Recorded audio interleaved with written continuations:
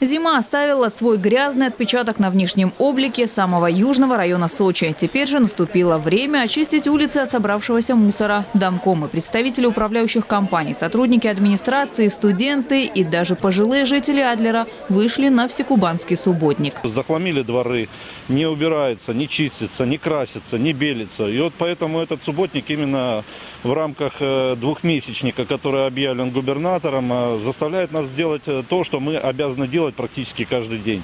Это привести свои дворы в надлежащее состояние, в надлежащий порядок, для того, чтобы нашим отдыхающим, нашим жителям было жить в этом районе, городе уютно и комфортно. Участники субботника не только собрали мусор, подмели улицы и очистили столбы и заборы от объявлений, но и привели в порядок памятники землякам-воинам. Отличилась в этот день и молодежь. Самые сложные участки ребята взяли на себя.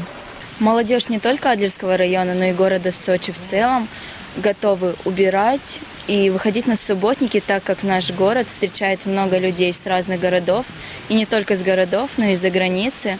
И мы хотим показать, что мы не только гостеприимные, но и также мы хотим показать, какой наш город чистый.